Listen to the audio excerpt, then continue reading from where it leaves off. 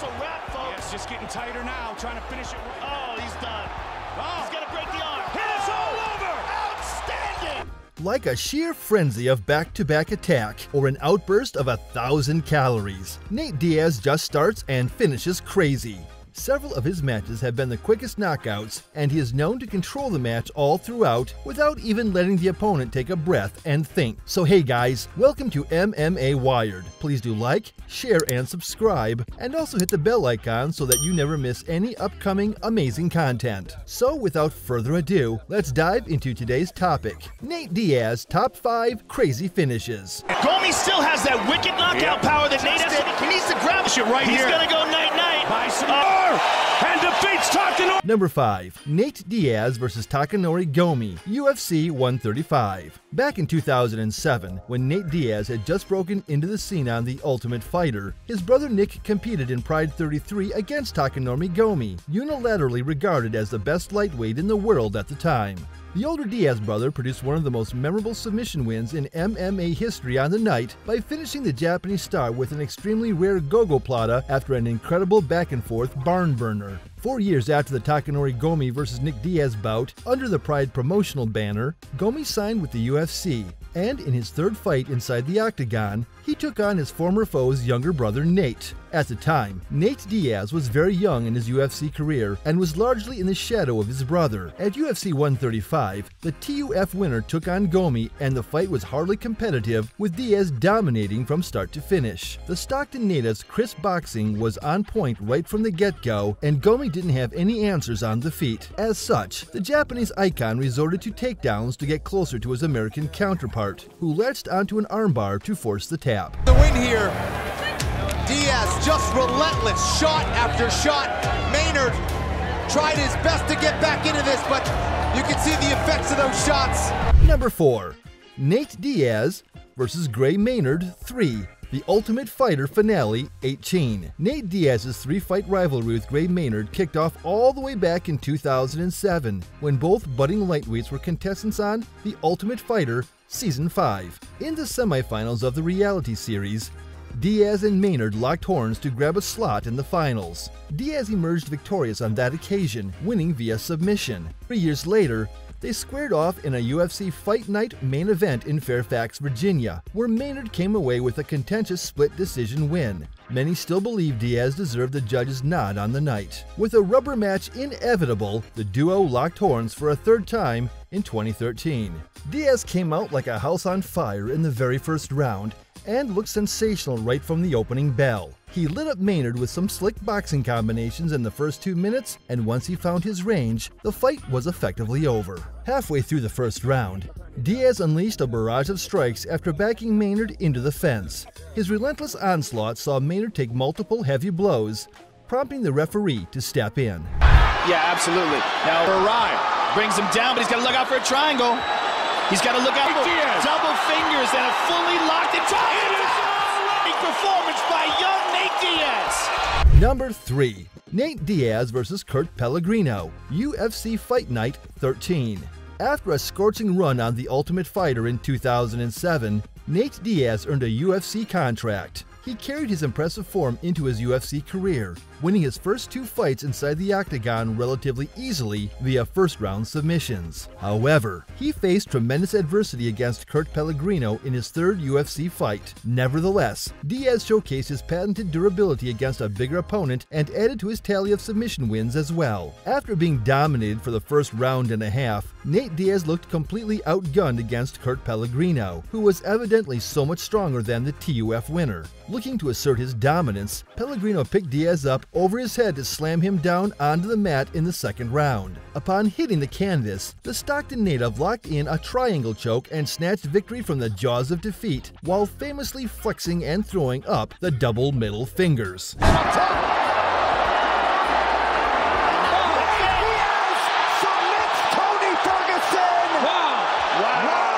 The first time he shot, Nate jumped to that guillotine, pushed it up high. Number 2. Nate Diaz vs. Tony Ferguson, UFC 279. With just one fight remaining on his UFC contract after his five rounder with Leon Edwards in 2021, Nate Diaz was desperate to fight out his UFC contract and explore the fortunes of free agency. As is the case in the fight promotion game, he was dealt a gross mismatch in his final UFC fight against the undefeated and highly touted Khamzat Chimaev at UFC 279. The UFC's intentions were quite clear with this booking, and MMA fans were gearing up for a potentially cruel swan song for the legend. Diaz was a massive underdog going into the bout, and many condemned the matchup as well, citing disrespect and spite as reasons for why the UFC would give him such an unfavorable opponent. Thankfully, after Khamzat Chimaev's egregious weight miss and the subsequent reshuffling of the fight card, Nate Diaz was matched with fellow UFC veteran Tony Ferguson. Diaz and Ferguson are among the biggest stars in the UFC, and considering they were around the same age,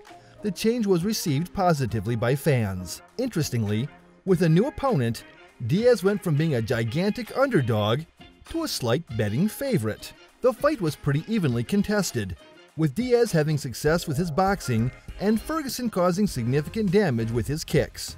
Going into the penultimate round, Diaz was on shaky legs and Ferguson was really wearing it on his face. It appeared as though El Cucuy was slowing down as well, which came as no surprise considering he was preparing for a three-round fight until the last minute change to the card. Somehow, in the most poetic fashion imaginable, Diaz jumped on a guillotine choke after Ferguson attempted an ill-advised takedown, forcing the tap at 209 of the fourth round. Everything about this win, right from the submission to the timing of the finish, was the perfect way to end Diaz's 15-year UFC career. Another left. Oh! Again with the combination. Do it. He's Conor trying to get out of it. Conor's in serious trouble back. now. That's it. He's got the choke. Nate Diaz. He's Number 1. Nate Diaz versus Conor McGregor, UFC 196. Nate Diaz has always been a fan favorite among hardcore MMA fans. However, it's undeniable that his star power reached astronomical heights after his first fight with Conor McGregor, which not only boosted his stock, but also saw the emergence of the UFC and MMA in mainstream sports on a global level. Back in 2016, when McGregor was undoubtedly the biggest superstar in the sport, many believed the Irishman would put away any opponent placed before him. After capturing undisputed gold in the featherweight division, the Notorious opted to move up to 155 pounds and become the first ever simultaneous two-division champion.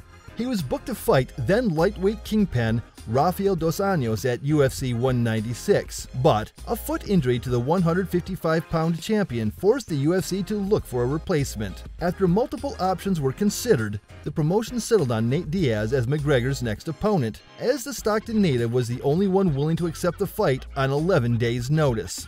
As expected, Diaz was a sizable betting underdog going into the fight, and the first round showed why. McGregor looked near perfect in the opening five minutes, catching his American counterpart multiple times with his famously powerful left straight. However, Diaz's durability shone through in the second frame. Despite McGregor landing his best shots flush, he wasn't able to put his opponent away, and the frustration seemingly affected his gas tank and decision making. The Irish superstar even got caught with a pinpoint Diaz 1 2 to the chin, which forced him to shoot for a takedown out of sheer exhaustion. In the subsequent grappling exchanges, Diaz cut through McGregor's guard like a hot knife through butter and soon found a rear naked choke, becoming the first fighter to defeat the Notorious in the UFC. The win over Conor McGregor saw Nate Diaz emerge as a bona fide superstar.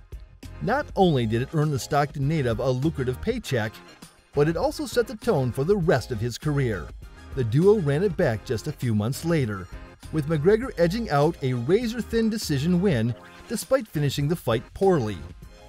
A trilogy bout is inevitable, but with Diaz now outside the UFC, it could be contested under boxing rules. Alternatively, if he returns to the promotion in the future, a rubber match inside the octagon is only fitting. Hence, it seems Diaz is just the man, with the best finishing moves that becoming an unforgettable memory for the MMA fans and even leave Dana White shocked. Hope you liked the video. Please do like, share, and subscribe, and also hit the bell icon so that you never miss any upcoming amazing content. Thanks for watching. MMA Wired will be right back with more amazing content just for you. Till then, keep growing, keep smiling. How do you feel about it? Yeah, Conor McGregor, you're taking everything I work for. I'm gonna fight your ass. You know what's the real fight? What's the real money fight? Is me, not these clowns that you already punked at the press conference.